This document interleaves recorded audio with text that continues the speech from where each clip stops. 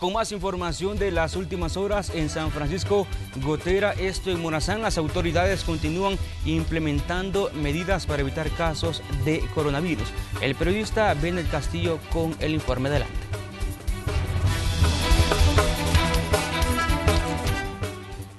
Muy buenas tardes, así es efectivamente informarles que en esta oportunidad nos encontramos en la colonia La Flores de la ciudad de San Francisco Gotera en el departamento de Morazán.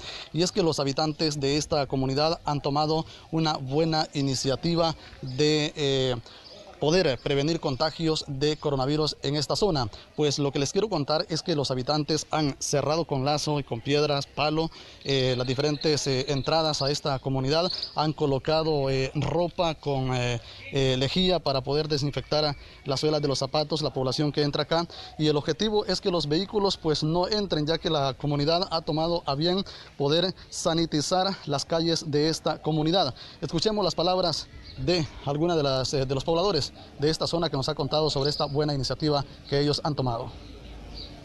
Pues nosotros tendiendo el llamado, este, aportamos un poco pues, a nuestra sociedad para evitar también el problema del coronavirus que aquí es a nuestro país.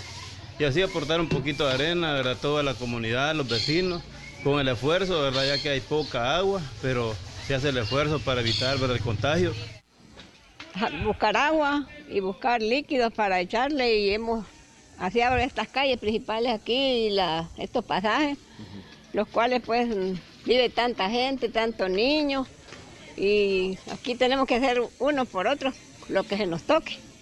Y es así pues como hemos estado ya dos días, ayer y hoy, y por eso hemos decidido trancar allí, porque ayer pasaron más de 100 carros aquí gente de todas partes y no sabemos cómo vienen las personas, así es que tenemos que cuidarnos los que visitamos aquí.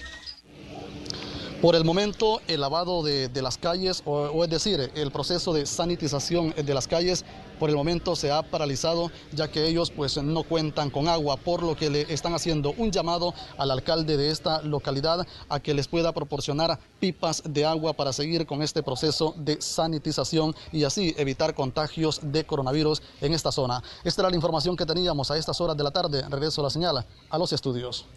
Gracias, Benel, por este reporte.